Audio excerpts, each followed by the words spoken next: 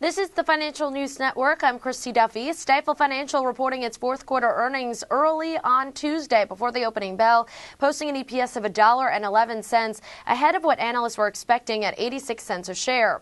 Revenue for the quarter rose 26% year over year to $401.6 million, topping consensus of $364.3 million.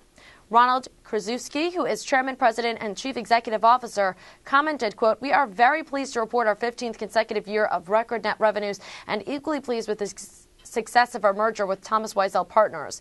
Our record quarterly revenues and record quarterly investment banking revenues demonstrate the power of the franchise and underscore the success of the merger with TWPG. We are, there are clear signs of the retail investor re-engaging as well as increased activity in the capital markets, both of which contributed to our results. Looking forward, we are positioned to continue to gain market share, which is accomplished through the addition of talented entrepreneurial people who share our vision to build the premier middle market investment banking banking firm.